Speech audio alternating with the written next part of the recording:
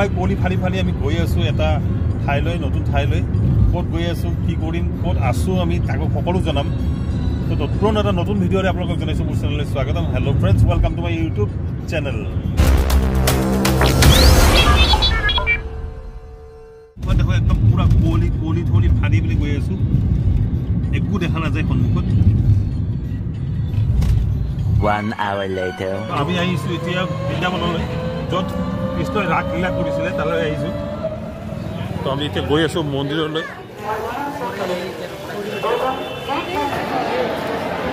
এই হ'ল মন্দিৰৰ কিবা পৰিৱেশ।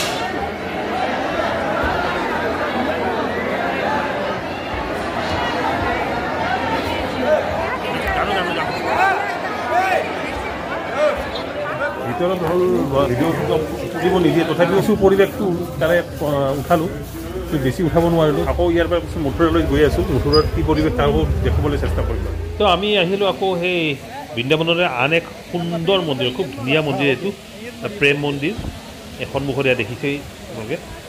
তো এক ইয়াৰ পৰিৱেশটো খুবেই সুন্দৰ খুব ধুনীয়া মন্দিৰ। আপোনালোকক দেখুৱাবলৈ চেষ্টা কৰিম বাৰু ইয়াৰ পৰিৱেশটো।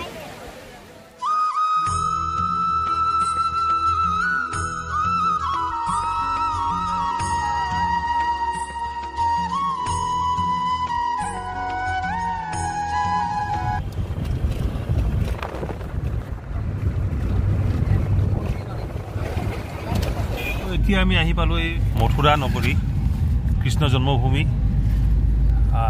তালৈ মন্দিৰলৈ গৈ আছোঁ কিন্তু ইয়াত শুনামতে ইয়াতে মোবাইল ভিতৰলৈ লৈ যাব নিদিয়ে। তো মোবাইলবোৰ ইয়াতে ৰাখি যাব লাগিব গতিকে কি কৰা যায় দেখা যাওক। এই পুখুৰীটোৰ নাম হৈছে পতৰাকুণ্ড।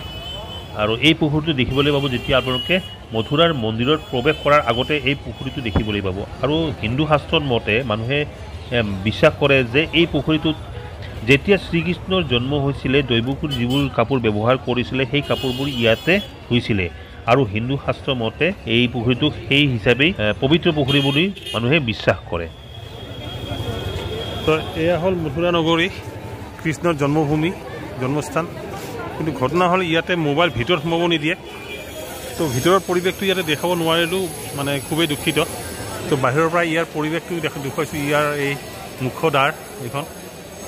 মন্দিৰটো আৰু ঠিক এই মন্দিৰটোৰ পিছপিনে আছে সেই কাৰাগাৰটো আছিলে কৃষ্ণৰ কাৰাগাৰটো য'ত জন্ম হৈছিলে। সেই কৃষ্ণৰ কাৰাগাৰ জন্ম হোৱা ঠাইখন এই মন্দিৰৰ ঠিক পিছপিনে আছে পিছপিনৰ মন্দিৰটোতে আছে। তো যি নহওক এতিয়া ইয়াৰ পৰা আমি ওলাওঁ। ইয়াৰ পৰা ওলাই আমি এতিয়া আকৌ যাওঁ আগ্ৰালৈ তাজমহল চাবলৈ। তো ইয়াৰ পৰিৱেশটো বজাৰৰ পৰিৱেশটো দোকানৰ পৰিৱেশটো ইয়াত দেখা দেখুৱাইছোঁ বাহিৰত।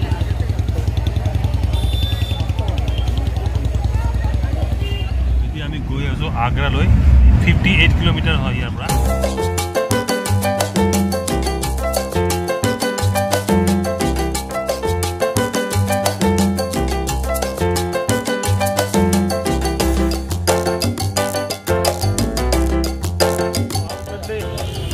লাগবে? আমি আহি আহি পালোঁ ইয়াতে আগ্ৰা ফৰ্টলৈ। আগ্ৰা ফৰ্ট আহি পালোঁ। গাইড গাইড তো এয়া হ'ল আগ্ৰা ফৰ্ট।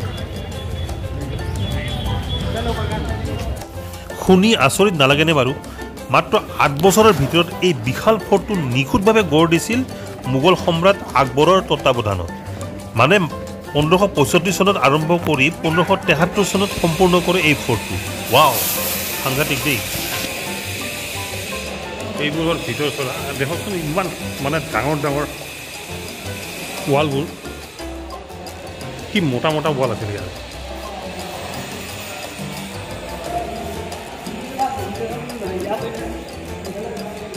এই এটা এটা ৱাল বাপ ৰে বাপ কি সাংঘাতিক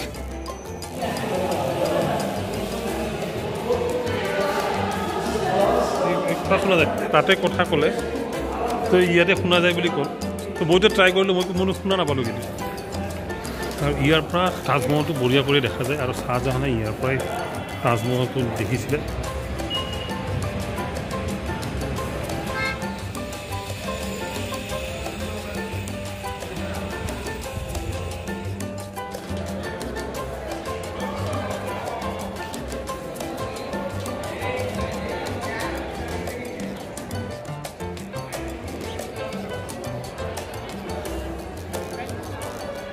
চিন্তা কৰকচোন সেই সময়ত মোগলৰ সময়ত যেতিয়া ইয়াৰ মোগলৰ শাসন আছিল তেতিয়া এই এই সময়ত ইয়াতে কিমান মানে সৈন্য সামন্ত আছিলে কিমান ঘোঁৰা কিমান কি মানে লগোৱা নিগিৰি আছিলে ইয়াতে। ভাবিলে আচৰিত লাগে।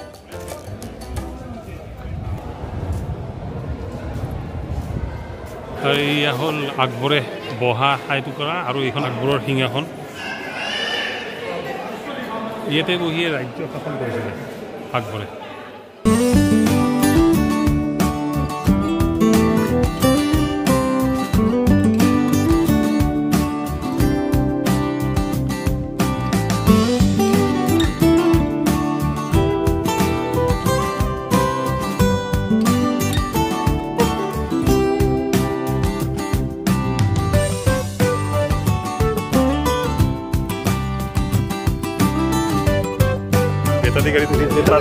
চাবলৈ যাবলৈ লৈছোঁ বিছ টকাকৈ ভাড়া পাৰ হেড মানে আমি আছোঁ চাৰিজন আশী টকা গ'ল।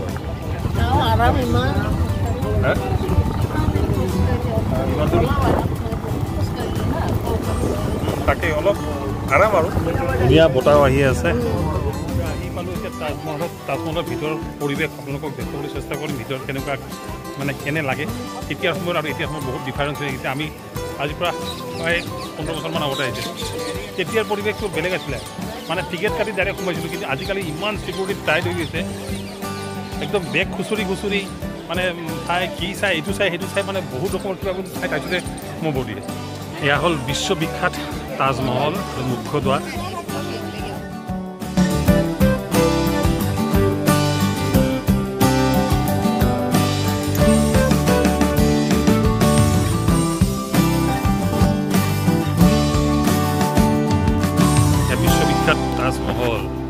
মুমতাজৰ কাৰণে বনোৱা আমাৰ মুমতাজৰ কাৰণে আমাৰ মুমতাজৰ কাৰণে বনোৱা শ্বাহজাহানে বনোৱা তাজমহল। এই তাজমহলটো কিয় ধৰেহে চবে। ভাঙি যাব দেখোন।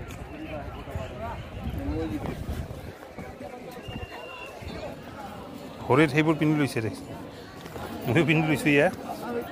আমি চবেই পিন্ধি লৈছোঁ এইবোৰ। মানে চবেই যিমান আহিছে চবে পিন্ধিব পিন্ধিছে ইয়াতে। তো ভিতৰত সোমাবলৈ এইবোৰ পিন্ধিব লাগে। এতিয়া কি কৈছে? মকবৰে কে আণ্ডাৰ ফটোগ্ৰাফী মানা হে। এইখন হৈছে যমুনা নদী যমুনা নদী তাজমহলৰ ওচৰেদি বৈ যোৱা। এতিয়া বহুত লেতেৰা হৈ গৈছে পানীবোৰ ক'লা ক'লা ক'লা ক'লা দেখা যায় ইয়াতে। কাৰণ গোটেই ইণ্ডাষ্ট্ৰিয়েল পানী ইণ্ডাষ্ট্ৰিৰ মানে পানীবোৰ হয়তো এই নদীৰে বৈ বৈ গৈছে। যাৰ কাৰণে ইয়াৰে পানীবোৰ একদম লেতেৰা হৈ গৈছে এতিয়া। সেইটো হৈছে আগ্ৰা ফৰ্ট। তাৰে পৰাই শ্বাহজাহানে এই তাজমহলটো দেখিছিলে। দেখক কিমান মৰম কিমান স্নেহ কিমান প্ৰীতি বাপৰে বাপ। যাৰ কাৰণে শ্বাহজাহানে এই তাজমহলটো বনাই দিছে। প্ৰায় তিনিশ সত্তৰ বছৰ পাৰ হ'ল যে তাজমহল যেন কালিহে বনাইছে ঠিক তেনেকুৱা নিচিনা লাগে। এতিয়াও একদম চকচকীয়া হৈ আছে কোনো চেঞ্জ নাই কোনো একো নাই। আচৰিত মানে আচৰিত হ'বলগীয়া সঁচাই আচৰিত। তাজমহল বনোৱা সেই কাৰিকৰজনক সেই মিস্ত্ৰীজনক মানে একচুৱেলি চালাম দিবলগীয়া। যাৰ হাতৰ পৰশত এই তাজমহলটো গঢ়ি উঠিছিলে। আচৰিত তেওঁৰ মানে দক্ষতা অসাধাৰণ দক্ষতা আছিলে তেওঁৰ। ফতেহপুৰ চিক্ৰীলৈ যোৱা কথা আছিলে আমাৰ কিন্তু সময়ৰ অভাৱৰ কাৰণে যোৱা নহ'ল। সেয়েহে আকৌ উভতি আহিলোঁ বৃন্দাবনলৈ প্ৰেম মন্দিৰলৈ। শুনিছিলোঁ ইয়াৰ মানে ৰাতিৰ ভিউটো খুব বোলে সুন্দৰ হয়। সেয়েহে আকৌ উভতি আহিলোঁ ইয়ালৈ ৰাতিৰ ভিউটো চাবলৈ।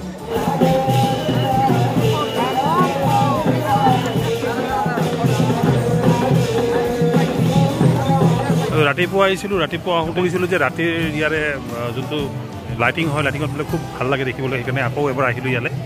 সঁচাকৈ আটক ধুনীয়া একদম। আৰু এইটো দেখক ৰাতিৰ মন্দিৰ।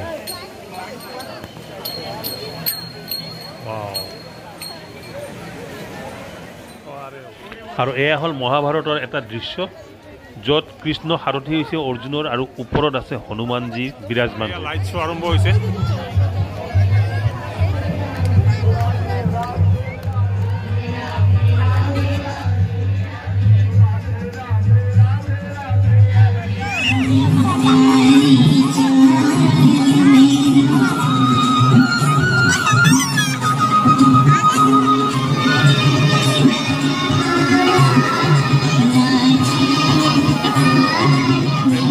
দিয়াৰ অৱস্থা দেখক ইমান মানুহ মানুহ মানুহ মানে চাৰিওফালে খালো মানুহ ইমান মানুহৰ ভিৰ দেখক। খুব ভাল লগা পৰিস্থিতি ইয়াতে পৰিৱেশটো খুব সুন্দৰ পৰিৱেশ। মানুহৰ সংখ্যা মানে অগণন মানুহ কিমান মানুহ ইয়াতে কিমান মানুহ আহিছে হাজাৰ হাজাৰ মানুহ আহিছে ইয়াতে। এয়া হ'ল গোবৰ্ধন পাহাৰ। আহক ইয়াতে এবাৰ আহক এই মন্দিৰলৈ আহক এবাৰ খুব ভাল লাগিব। ভাল পাব মনটো একদম পবিত্ৰ পবিত্ৰ যেন লাগিব। মানে সঁচাকৈয়ে কৈছোঁ খুবেই ভাল লাগিব আপোনালোকে এবাৰ আহক ইয়াতে। এবাৰ চাই যাওকহি আৰু সন্ধিয়াৰ পৰিৱেশটো বিশেষকৈ সন্ধিয়া পৰিৱেশটো একদম ফাটাফাটি আৰু কোনো ক'ব ক'বলগীয়া একো নাই। খুব মজা লাগিব। আজিৰ ভিডিঅ' ইমানে সামৰিছোঁ। পুনৰ এটা নতুন ভিডিঅ' লগ পোৱাৰ আশাৰে আজিলৈ টাটা এণ্ড বাই বাই